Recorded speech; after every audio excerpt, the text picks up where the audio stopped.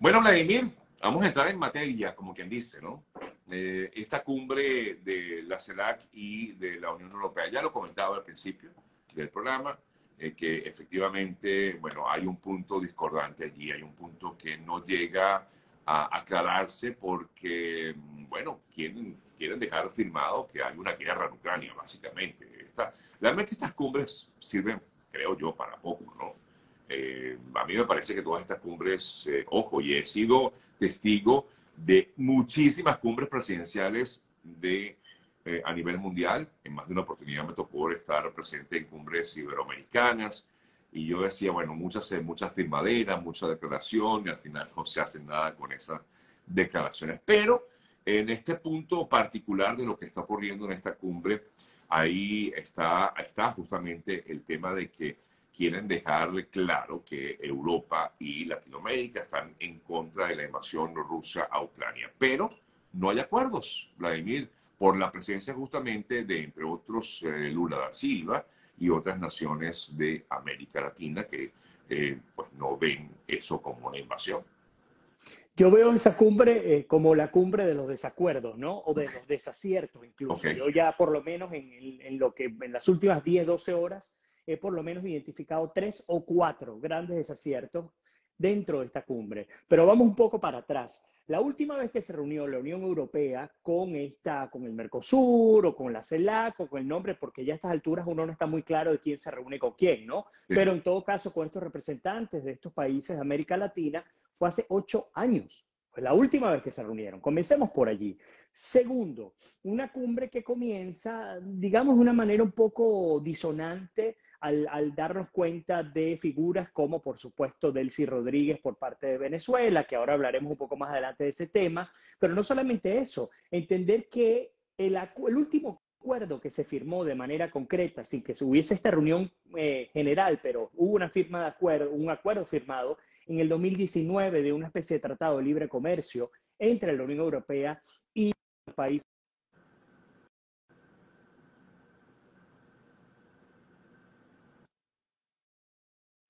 No te preocupes, y creo que esto va a estar pasando porque tengo una pauta, pero eh, lo que les comentaba es que ellos llegaron a un acuerdo de Tratado de Libre Comercio y nunca se aplicó ese acuerdo porque Europa considera que ese acuerdo perjudica a la Unión Europea. Entre ellos, por ejemplo, Francia y el gremio de los ganaderos que dice, mira, no hay un monstruo más grande que Brasil con las cabezas de, ganado que produce Brasil y la calidad de la carne, que si nosotros nos ponemos a traernos esa carne de Brasil, pues sencillamente destruimos nuestra industria eh, bovina. Eso lo dicen, por ejemplo, los franceses. Para que tengamos idea, en Brasil se consume un tercio de lo que se produce en términos de, ganado. Pero bueno, me fui un poco más al tema económico el tema de acuerdos, pero digamos que nos da una base para entender lo que tú estás comentando. Entramos al tema político, que no es otra cosa. Una declaración entre la Unión Europea y los países de América Latina no pasaría de ahí, y tú bien lo comentabas. ¿Qué tan efectivo, qué, para qué tanto puede servir una cumbre de esta? Realmente no sirve para mucho. en todo caso, lo que sí es interesante es ver cómo los países de América Latina no se quieren ensuciar las botas, no se las quieren llenar de barro, no quieren meterse contra Putin. Y lo más triste de todo esto es que yo no veo que tanto pierden, porque perdóname, Sergio, Brasil no tiene nada que temer, y digo Brasil otra vez porque es el país más grande de América Latina en todos los sentidos. Em, no tiene nada que perder a la hora de decirle a Putin, sí, esa invasión es ilegal, porque además con Rusia Brasil prácticamente no tiene acuerdo. Ahora con los alemanes sí tienen acuerdo, con los franceses sí tienen acuerdo, con los españoles también tienen acuerdos. Entonces uno dice, bueno, qué increíble cómo las ideologías, la politiquería, el, pretender siempre manejarte en esas aguas turbias de, de acuerdos entre países extraños, entre ellos Rusia, pues bueno, tú decides incluso arriesgar económicamente la estabilidad de tu país por irte por un tema político y decir, no, mira, yo no voy a firmar un acuerdo que, que definitivamente por el lado de la Unión Europea y de los países de América Latina diga que en Ucrania lo que hay es una invasión. Sí, eh, eh, claro, y, debería darse, porque en teoría es uno de los puntos álgidos, eh, pero también uno de los puntos más importantes de lo que pudiera ser esta, esta cumbre, un poco mostrar el desacuerdo que hay en el mundo en relación con esta invasión rusa a Ucrania. Pero por supuesto, Vladimir, uno de los puntos eh, que eh, ha resaltado mucho ha sido la presencia de la vicepresidenta venezolana en, en esta cumbre. Y yo comentaba al principio que efectivamente eh, Rodríguez tenía sanciones en su contra por parte de la Unión Europea. ¿Cómo, cómo se puede entender esto? Eh, la presencia de Rodríguez en esta cumbre teniendo estas sanciones, aunque le hayan dado una, eh, como quien dice, una, una especie de, permiso de salvoconducto para estar allí eh, presente. ¿qué, ¿Qué piensas al respecto? A ver, yo veo difícil en términos generales que un, un alto funcionario del régimen chavista fuese detenido tan fácilmente en, alguna nación de Europa. Hay que entender el contexto de Bélgica. Bélgica no es, otra vez, no es una Alemania, no es una Francia, no es una, etcétera. Sin embargo, Bélgica forma parte de la Unión Europea y la Unión Europea tiene acuerdos con Estados Unidos. Y eh, llama poderosamente la atención que incluso se le haya permitido ingresar a esta señora, porque, otra vez, ¿qué tanta necesidad tiene la Unión Europea e incluso los países miembros de América Latina de contar con la presencia de Venezuela. ¿Qué tanta necesidad? Vamos al, vamos al término práctico. Economía. ¿Venezuela tiene algún tipo de incidencia en la economía nacional incluso internacional? La respuesta es no, obviamente. La segunda, política. ¿Venezuela a estas alturas es la Venezuela que hubo cuando hubo Chávez? La respuesta es no.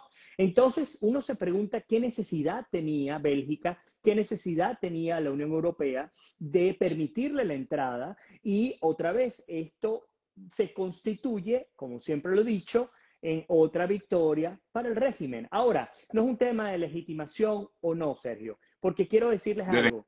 Legitimidad, Sí, no, digo legitimación y ya te voy a explicar por qué. Porque el acto de legitimar, allá voy.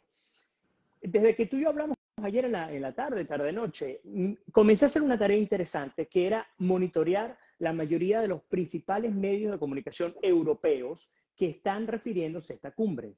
No hay uno, escúchalo bien, no hay uno que esté hablando de la presencia de Delcy Rodríguez como representante de Venezuela allá. Es decir, Venezuela no es un punto ni siquiera en la agenda de esta cumbre.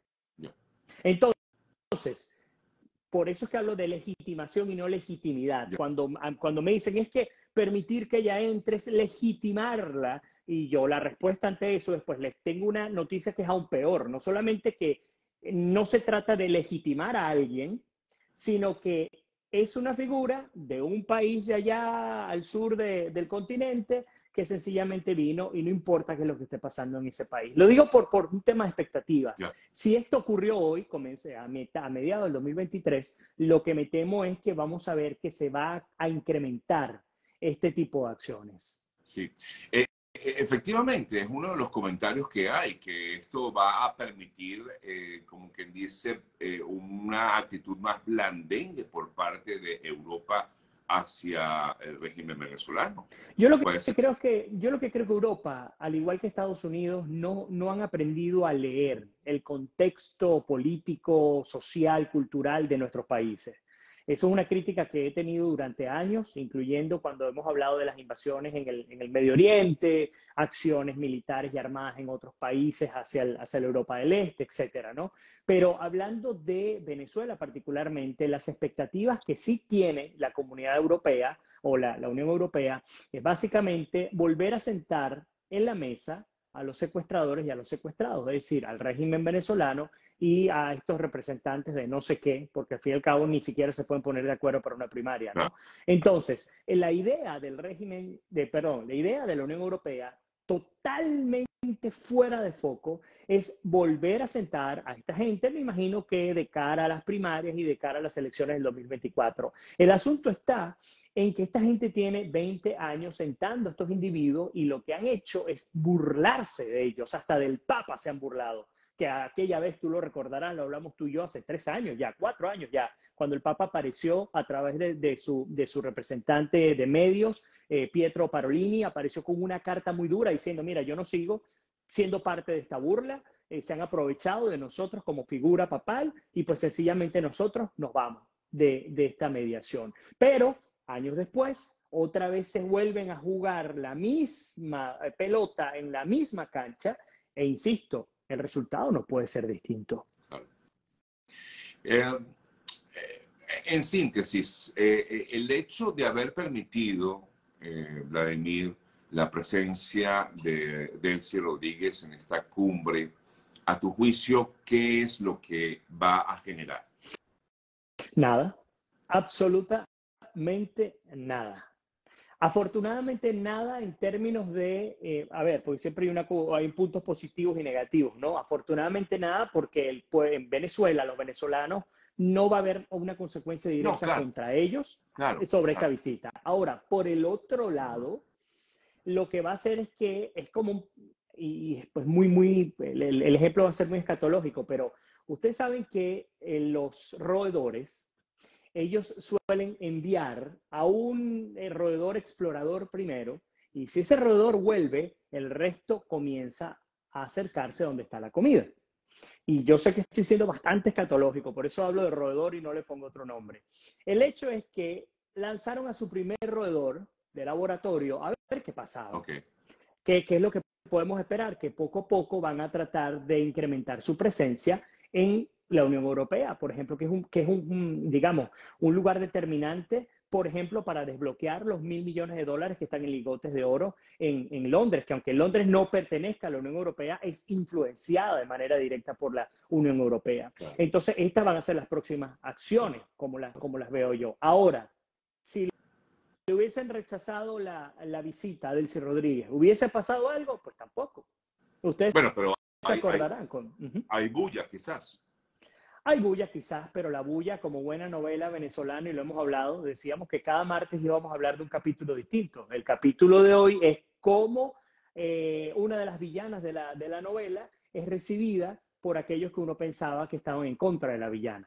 Y es lo que desgraciadamente ocurre. Ahora, me parece muy interesante, eh, siendo que las elecciones en, en, en España se van a dar en poco menos de dos semanas, en unas dos semanas. Yo quiero ver, por ejemplo, cómo puede afectar ese beso efusivo por parte de Pedro Sánchez a su campaña, eh, dándoselo a, Delcy Rodríguez, el recibimiento que hubo con ella. Ahora, eso no queda... hay una historia, ¿no? Hay que tomar en cuenta, ¿no? Es una historia larga. Correcto. Acuérdate de la visita que realizó a ella, a España y bueno. Sí, no, por supuesto que hay historia, pero en medio de esa historia hay dos, hay dos naciones importantes que por supuesto se están jugando, ¿no? En el caso, otra vez, en el caso de España, cuando ustedes van a los principales noticieros españoles y medios de comunicación, ninguno está hablando de este tema. Que si la besó, que si no la besó, que si la recibió, que si no la recibió. Nadie está hablando de este tema. Y es muy cómico, porque, o es tragicómico, porque, serio, hace apenas una semana, una semana y media, me tocó retratar acá una protesta, una huelga de hambre de la comunidad cubana. En, La Habana está el famoso Guillermo Coco Fariña, que fue un comunista toda su vida. Él luego dejó el comunismo, se dio cuenta de lo que ocurría y ahora es un gran disidente cubano. El hombre ha estado en huelga de hambre durante semanas. De esta huelga de hambre luego se llegó, eh, llegó hasta Miami, llegó hasta Tampa y la Unión Europea hace apenas una semana estaba emitiendo un comunicado em, dándole el apoyo a Coco Fariñas y esto y lo otro y las libertades, pero una semana después te está recibiendo a la prima hermana de los Castro, ¿no? Entonces, otra vez, todo termina siendo letra muerta.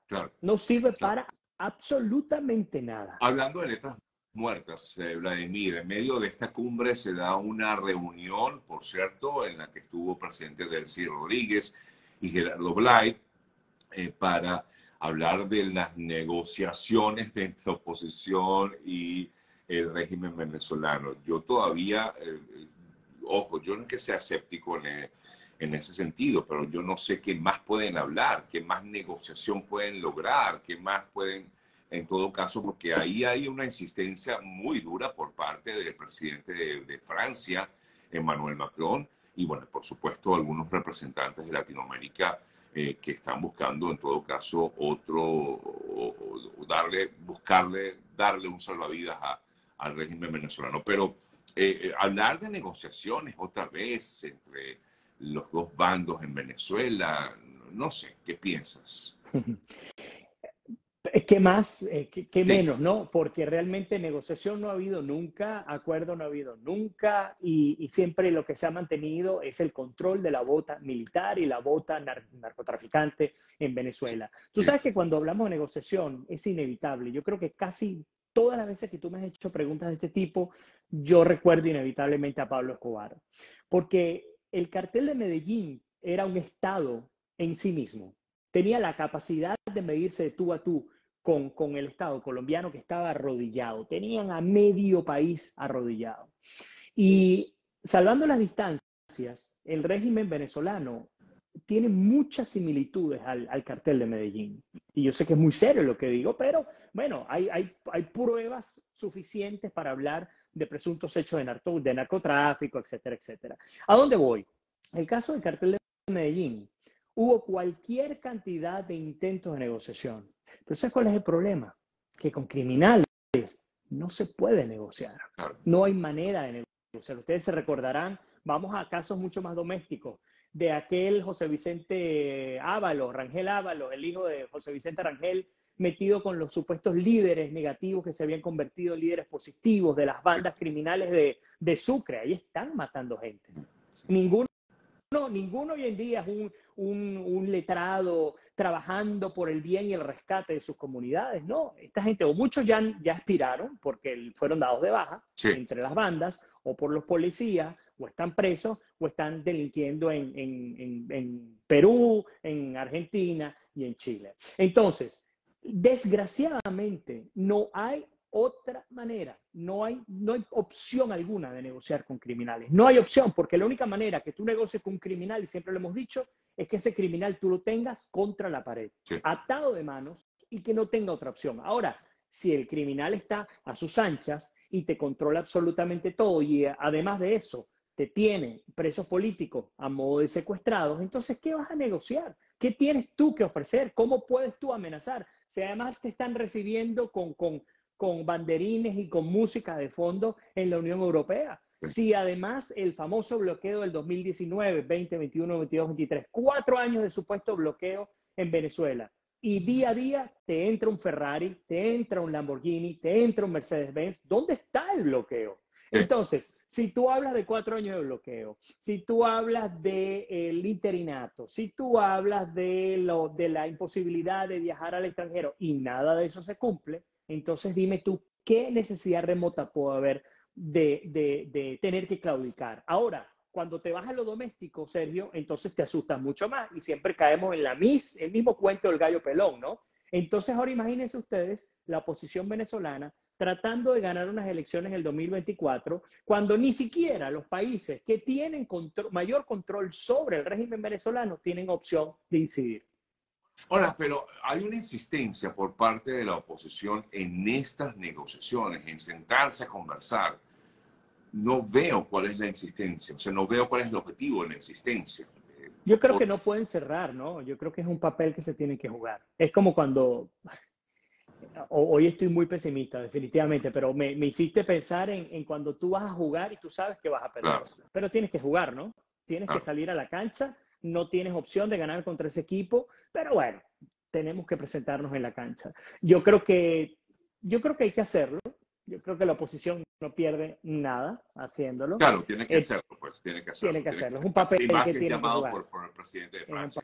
Papel. Si el problema está en que, en que eso no va a servir para nada, porque además la oposición está secuestrada también. Es lo que siempre he dicho. O sea, no solamente yo entiendo que muchas personas dicen, bueno, pero es que ellos están vendidos. Sí, probablemente muchos estén vendidos, pero los que no se montan un avión para negociar en un tercer país, pero en Venezuela, en Caracas, en Maracaibo, en donde sea, te tienen a sus familiares asustados porque no saben qué les pueda ocurrir.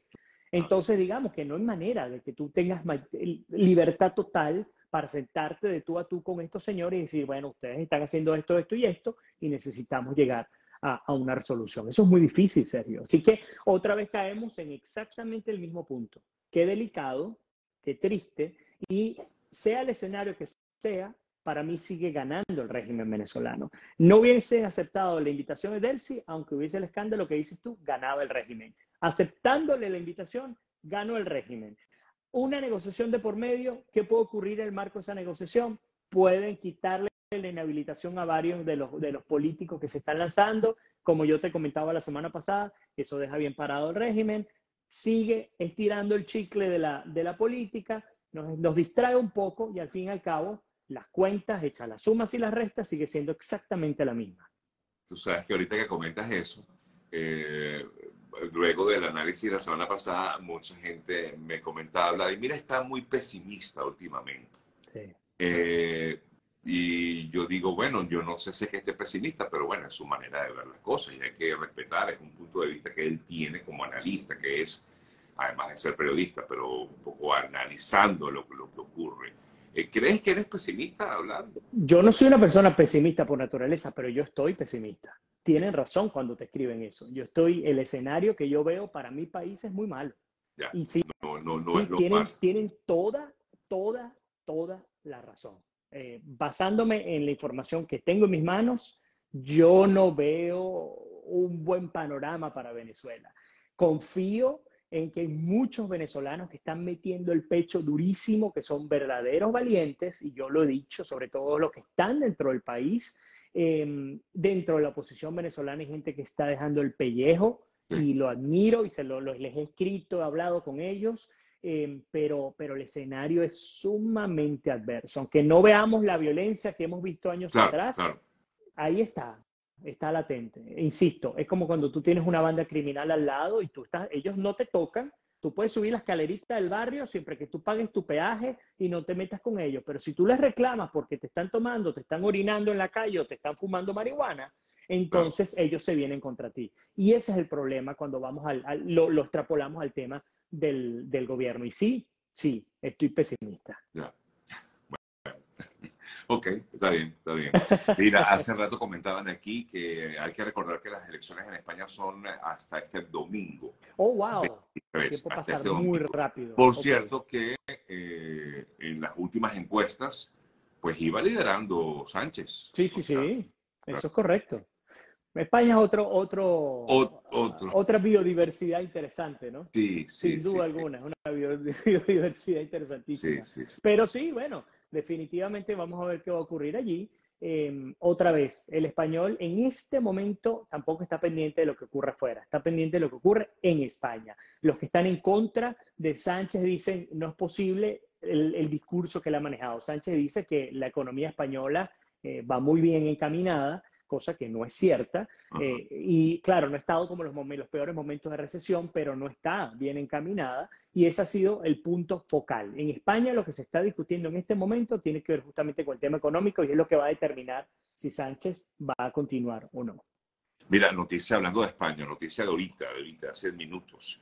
La Audiencia Nacional Española ordenó a Interpol que ejecute de manera inmediata la entrega a Estados Unidos del pollo Carvajal. Sí luego de que el Tribunal Europeo de Derechos Humanos rechazara la semana pasada su último recurso y por tanto, repito, lo que es noticia a esta hora, según leo en este, en, en este portal eh, que le da el crédito a F, la justicia española ordena a Interpol la entrega inmediata de Hugo el Pollo Carvajal a Estados Unidos. Eso sí es un golpe muy, muy, muy duro para el régimen venezolano porque no es inmediato, pero imagínate los acuerdos a los que va a llegar, claro. porque para mí al Pollo Carvajal no le van a dar cadena perpetua, para mí no se lo van a dar, no, claro. porque ese tipo va a cantar claro. y va a cantar bien afinado en Do mayor, bien afinado.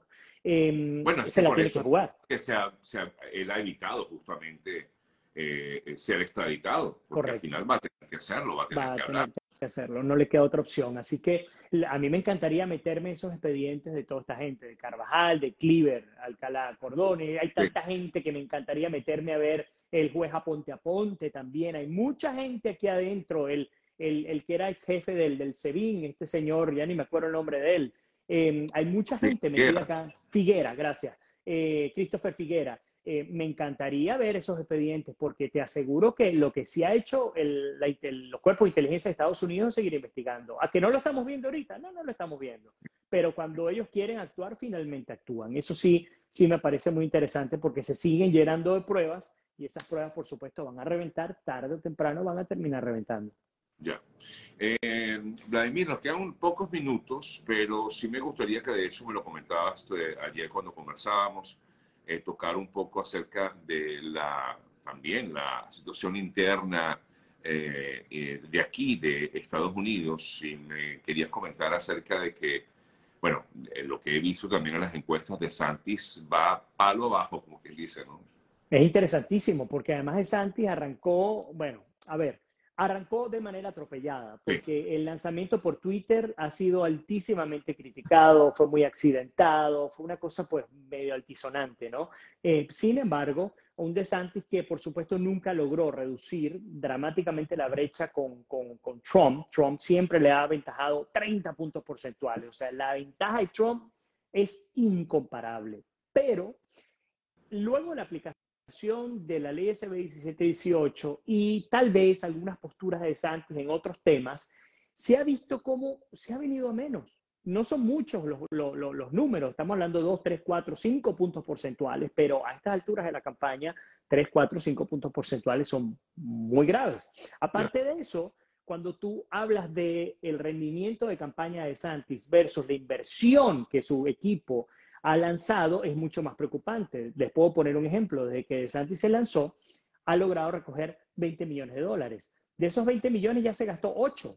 Y estamos viendo que aún metiendo 8 millones de dólares en campaña en lo que va del lanzamiento, se ha venido abajo. No solamente eso, había contratado a, un, a, una, a una, maquinaria electoral importante em, de campaña y ha tenido que comenzar a despedir a personas que están con él. Entonces, ¿Cuál es el escenario que estamos manejando nosotros? Porque hemos estado tratando de entender la realidad de lado, que es muy temprano, pero de la, del lado republicano. Trump va a seguir creciendo y es lo que se ve cada vez que se habla de Trump, incluso se habla en contra de él, él sigue subiendo. Habrá que esperar a ver qué va a ocurrir con el tema judicial. Si Trump llega a tener aquí dos escenarios, si Trump llega a tener un problema que lo imposibilite, que hasta ahora no existe ni por constitución que lo inhabilite, pero que lo imposibilite para poder ejercer como precandidato, pareciera que, cuidado y si una tercera figura dentro del Partido Republicano sería entonces la que finalmente compitiera contra los demócratas y no necesariamente Ron DeSantis. Es bien interesante porque tenemos una línea con todo el resto de los candidatos, Mike Pence, eh, Nikki Haley, todos los demás siguen iguales. Ellos no han subido y ellos están muy lejos de DeSantis. Pero si tú quitas a DeSantis del escenario y tú metes a uno de ellos, probablemente esa persona pueda tener un empuje mucho mayor en términos de tendencia electoral. Así que no todo está cantado. Hace apenas un mes atrás pensábamos que todo estaba cantado al Partido Republicano y que el problema estaba del lado demócrata. Hoy no estamos tan seguros, pareciera que la cosa se está enredando para los republicanos también, y ahora estamos hablando de incertidumbre en ambos lados de la, de la, de la cuerda. Sí. Eh, te preguntan que cómo va el alcalde de Miami, no, él tiene menos posibilidades que... bueno, ese debe ir a esta hora en un trancón en la, en la 75, ¿no? Es la calle allá abajo en Miami. En la 95. Debe estar en un trancón, en la 95. debe estar en un trancón. No, eh, Francis Suárez lo único que está haciendo es cultivando para un futuro. Yo, yo creo que ni siquiera él piensa que él puede llegar a ser presidente ni en el futuro, pero tal vez está cultivando un nombre como para gobernador. ¿Cómo? Que él Tal vez está cultivando su nombre político como para ser gobernador. No quiere decir que él no pueda ser presidente, él puede todo, todo aquel que sea ciudadano americano que haya nacido aquí puede serlo, pero eh, en términos reales tiene figuras como Marco Rubio, tiene figuras que son de origen hispano que han intentado y que han tenido mucho más fuerza que él y tampoco lo han logrado. No quiere decir que no lo vaya a lograr, pero lo que, lo que entiendo sobre su figura es que él lo que está jugando es a tener mayor relevancia dentro del estado de la Florida, no fuera. Ustedes salen y le preguntan a cualquier persona en cualquier otro estado quién es Francis Suárez y seguramente absolutamente nadie sepa quién es él. Sí. Bueno, Vladimir, te agradezco como siempre esta conversación de todos los martes. Un fuerte abrazo. Gracias por eh, este análisis. Eh, no es pesimista, es realista, decía la gente por aquí, pero él dice que sí, que hay algo de, pesimismo en todo esto. Pero bueno, ya veremos cómo pasan, cómo van dándose las eh, cosas y ver si ese punto de vista te cambia. Así Vamos a ver, ojalá que cambie, por supuesto que sí. Fuerte abrazo y gracias, Vladimir. Gracias, un fuerte abrazo. Para ti, Sergio. Feliz día. Para ti, que Dios me lo bendiga. Feliz día.